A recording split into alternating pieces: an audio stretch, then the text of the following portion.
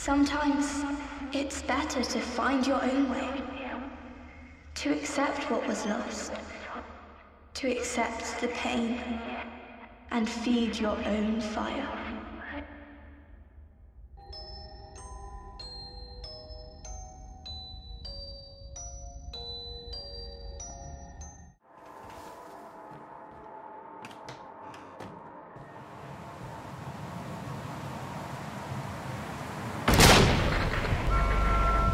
Watch out!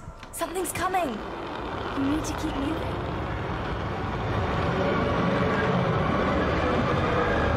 You're almost there.